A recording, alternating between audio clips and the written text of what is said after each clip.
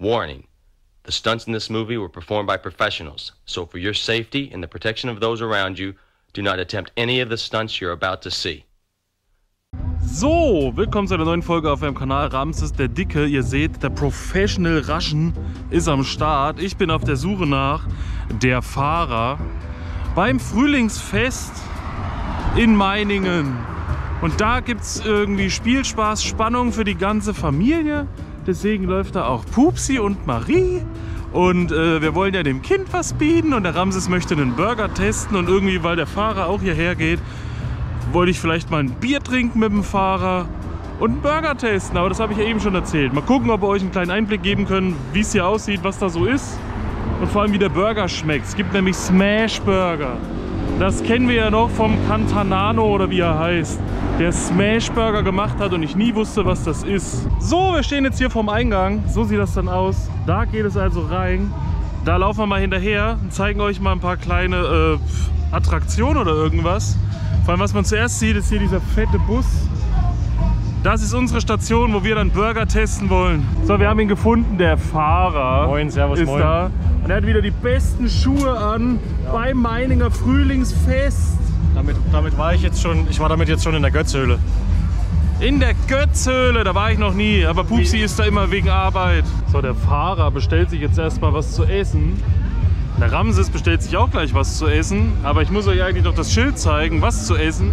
Ist nur gerade alles ein bisschen chaotisch. So, hier in unserem Superbus gibt es nämlich Bier und Radler für 3 Euro, Fanta Cola Sprite für 2,50, Wasser 2 Euro, Pommes 3,50. Einmal Pommes für Pupsi, einmal Bier für den Ramses und eine Cola noch, für, auch für Pupsi.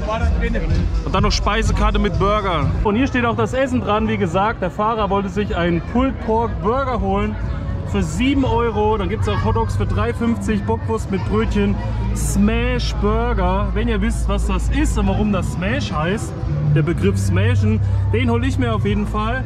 Wiener gibt es auch noch Currywurst. Hier, das sieht auch gut aus. Und wie der Smash Burger aussieht, zeigen wir euch gleich.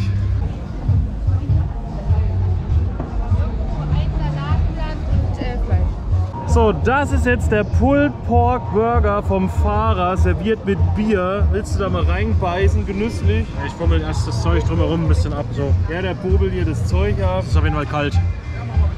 Ich weiß nicht, ob das normal ist, dass es kalt ist. Ja, das ist, weil es ge gezupft ist, äh, kühlt das schneller ab. Ne? Aber geschmacklich auf jeden Fall sehr gut. Sehr gut vom Geschmack. 7 Euro der Preis. Ja, das ist teuer. Ich gehe dann zum Inder. Du gehst zum Inder, ne? Das dann nochmal nach. Aber schönes Sesambrötchen, muss man Ja, sagen. Magst du ist mal den Deckel anheben? Das Brötchen sieht gut aus. Der Burger. Okay. Das ist auch schon angetoastet. Ja. Sieht aus wie bei Döner Lutze. Ja, nur Kraut und Fleisch. Und dann fehlt nur die Soße. Kraut und Fleisch. Wie bei echte Döner Lutzburger. Hier gibt es jetzt Pommes für 3,50 Scheiße. und das ist der Smash Burger. Warum auch immer der Smash heißt, ihr wisst es, der ist einfach zusammengepackt, aber ich finde, der sieht eigentlich ganz gut aus, aber für einen Preis von 8 Euro doch gefühlt sehr teuer. Aber wichtig ist ja, wie der schmeckt. Das ist eine super Kulisse mit dem blauen Himmel und dem Bus im Hintergrund. Jetzt will ich erstmal das Bier probieren, ja. Ach so, Prost! Guck! Prost mit dem Fahrer! Bisschen.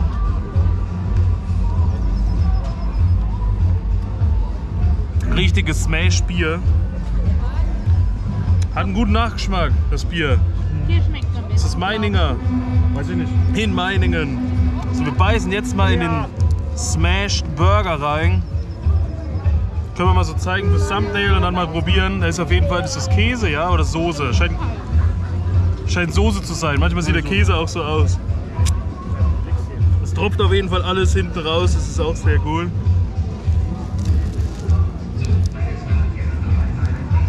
Aber super tolles Sesambrötchen, ich muss es nochmal sagen.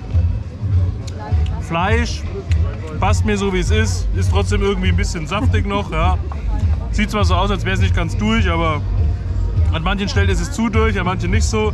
Reicht mir, bin es ja so gewohnt, so esse ich es. Also mir schmeckt es, aber für 8 Euro trotzdem ein bisschen teuer. 25 Lose, 10 Euro. Marie hat sich jetzt erstmal 25 Lose geholt. Jetzt schauen wir mal, was sie da Feines erwartet. Das sind die Lose. viel Glück auf jeden Fall. Halt du mal fest. Hab ich. So, zack. So, aus 25 Losen gab es jetzt 11 Punkte. Die werden aber erstmal gesammelt, ja. Und erstmal gucken wir, was der Fahrer macht, denn der steht jetzt hier an der Schießbude.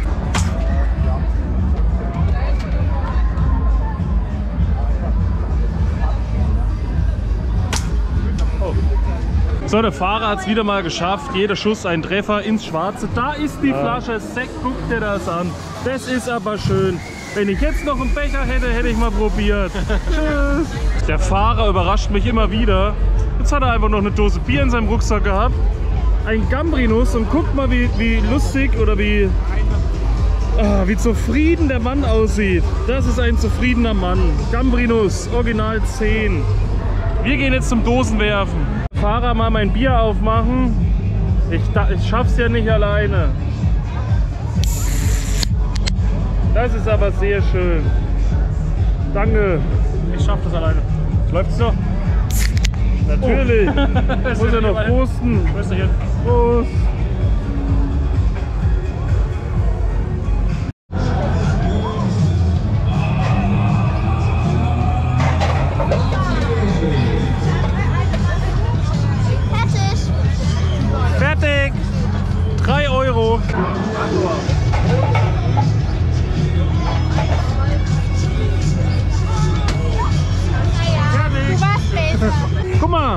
Immerhin gab es diesen Ball an der äh, Dosenwerfbude. Der ist doch richtig fresh. Dosenwerfen. Kann aber noch schneller werden. So, wir befinden uns auf dem, ich sage mal, Karussell, ja, wenn man das so nennen will. Das sieht so aus in der Mitte.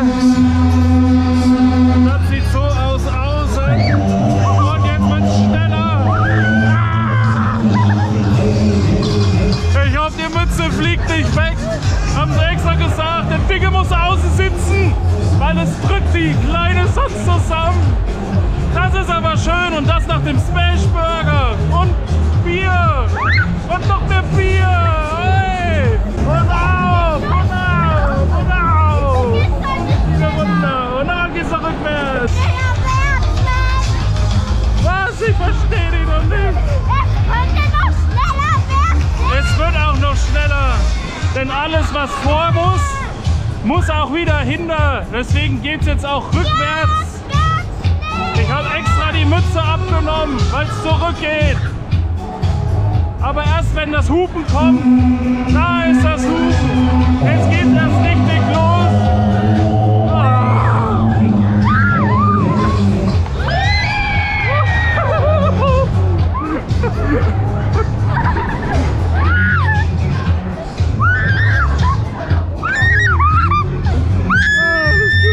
Das ging ja ewig vor und dann nochmal zurück und das für 3 Euro. Also das hat sich jetzt gelohnt. Das muss man auch mal sagen. Darauf erstmal Bier trinken.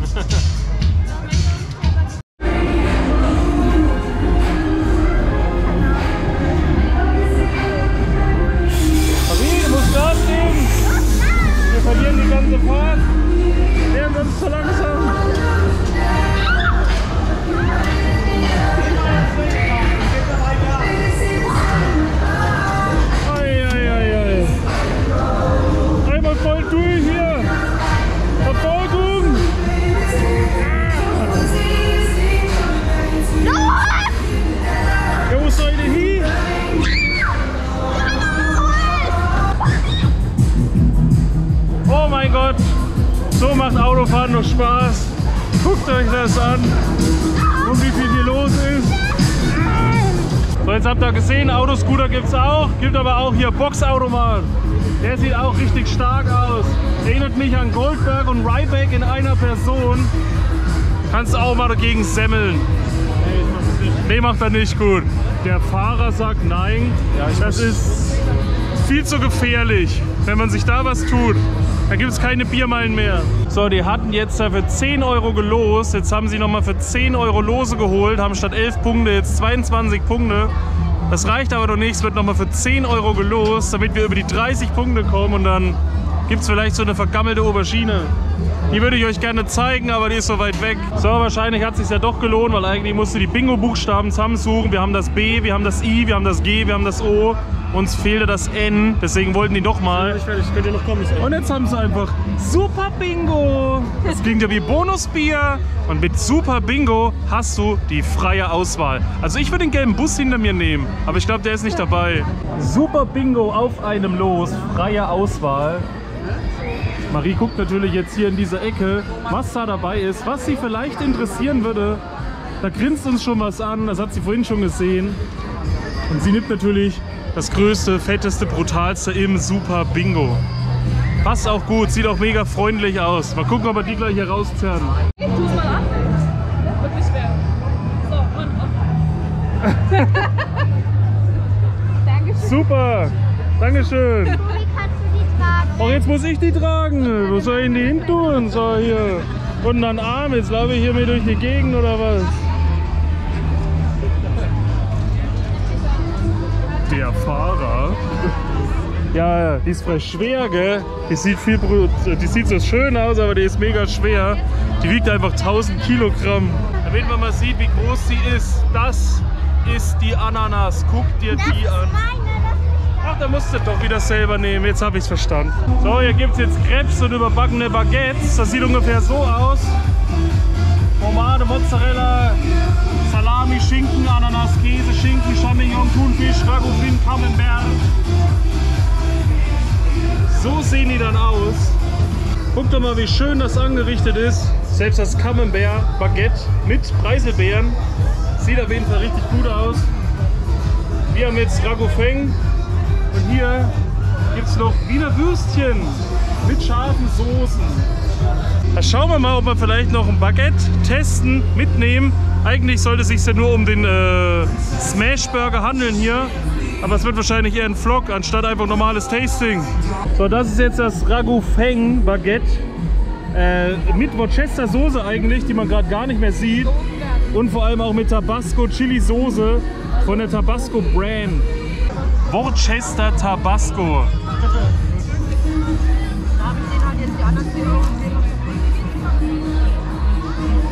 Ein richtig geniales Würzfleisch. Diese scharfe Chili-Note kommt durch. Da ist trotzdem dieses bisschen säuerliche von der, äh, von der Worcester Soße. Finde ich gut. Preis 5,50 Euro. Bisschen teuer, aber man gönnt sich ja sonst nichts. Das werde ich mir jetzt schmecken lassen, also würde ich auch noch mal kaufen. So, der Fahrer hat jetzt den Sekt geöffnet. Was ein Becher und schon ist die Flasche leer. Das ist Perlwein, kein Sekt. Perlwein. Ich kenne den Unterschied eh nicht. Wahrscheinlich ist es wie kühler, weil es kommt in der grünen Flasche. Ja, bei, bei Sekt fliegt der Korken raus. Da hier macht es einfach nur. Ja, das passt doch so. Was rein. Lasst es euch schmecken.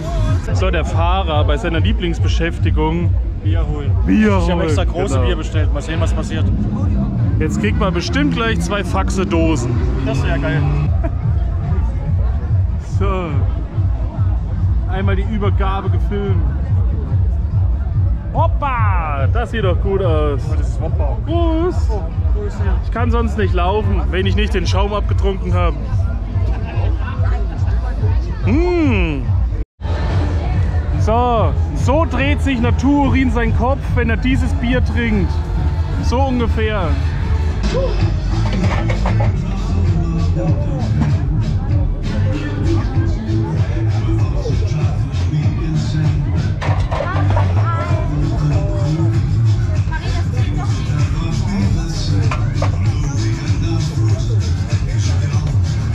Aus vor Wut hat sie jetzt auf die Roten geworfen. So, der Fahrer hat schon wieder Dosch. Hast du das mitgekriegt? Ich habe gerade zwei mit einmal aufgeschossen. Nee. Der Fahrer hat doppelt Dosch. Der schießt gleich zwei mit einmal ab. Der hat nämlich Hoffnung, dass er noch eine Flasche Sekt bekommt. Und eigentlich möchte ich noch Backfisch testen, aber der Akku ist gleich leer. Ich habe ich hab noch eine Rose dazu gewonnen. Eine Rose und eine Flasche Perlwein. Ja? Rose, Rose. Rose mit Flasche. Das ist richtig genial. 24 von 25 hat er abgeräumt. Das ist der Meister. Feinster Sekt vom Fahrer. Äh, Wein. Perlwein vom Sekt, äh, vom Fahrer. Egal. Also es gab schon Zeiten, da war das Wasser niedrig. So, hier gibt es jetzt Backfisch, wie man da kennt. Wie der ausschaut, das zeige ich euch jetzt. So, jetzt seht ihr hier, das ist der Backfisch, so ist der serviert. Sieht richtig genial aus. Da ist die Hälfte auch Remoulade und die Hälfte Knoblauchsoße drauf. Habt auch Salat unten mit drunter. Sieht richtig lecker aus, richtig genial. Und hier habt ihr den Tintenfisch-Ring-Teller. Auch einmal Remoulade und einmal Knoblauch. Das ist cremiger, das ist flüssiger. Da habe ich gestern schon für 5 Euro so eine Portion genascht. Pupsi hat sich total geekelt, weil wenn du das hier so aufmachst, dann sieht das richtig pervers aus. Das können wir euch jetzt aber auch mal zeigen. Wenn ihr das, diesen Tintenfischring aufmacht, dann zieht sich ja wirklich hier, dann ist es Dichtungsring, dieses Fleisch raus. Ah, es ist so heiß. Das ist halt wirklich der blanke Gummi. Aber das ist genial, weil das schmeckt trotzdem mit den Dips dazu richtig pervers. solche Gummiringe, wo du den Auspuff dran aufhängst eigentlich. So, nachdem schon jeder jetzt in mein Fischbrötchen reingebissen hat, in den Backfisch, ne, da wollen wir jetzt auch mal reinweisen. Ich weiß nicht. Das heißt, das Video von Naturregen gesehen, wo von der Bier meinte, da hat er doch auch, wo ich gerülpst habe, das Fläschchen. Äh, und der dann voll reingeschoben. da musste ich übelst wegschmeißen. So, und wenn ihr mal keinen Hunger mehr habt, gibt es einen richtig genialen Trick.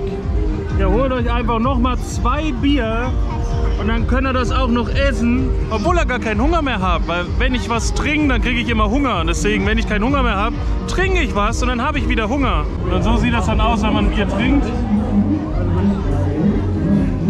Entweder sagen, entweder sagen ja, dann gehen wir hin. Oder sagen nee, und dann gehen wir in Pizza Town, da gibt es auf jeden Fall Pizza. Und so sieht das aus, wenn also hier von diesem, von diesem Tintenfisch alles ab ist, der Gummi nur noch übrig. Da, da freut sich jeder Installateur. Und dann in die Remoulade rein. Übelst genial. Ansonsten gibt es halt noch den, ansonsten gibt's hier noch den Pizzamann. So, das war das Frühlingsfest in Meiningen. Eigentlich wollte ich nur einen Burger testen und das als Ramses Kitchen vermarkten. Vielleicht wird es doch ein Vlog, ich weiß es nicht. Ich melde mich hier gerade zum Abschluss aus der Dixie-Toilette. Das ist eine Dixie-Toilette. Da ist das Klopapier. Da ist das Pissoir für die Männer. Da ist für die Frauen. Da könnt ihr mal rein und gucken. Das sieht dann so aus. Und hier könnt ihr rausgucken. Könnt ihr das Frühlingsfest auch von hier erleben und alles beobachten, was da los ist. Da drüben ist der Fahrer und der Rest. Und dann würde ich sagen, war es das von meiner Seite aus. Wir sehen uns beim nächsten Mal. Bis dahin, Peace out, Vorhaut, euer Ramses. Enough Talk.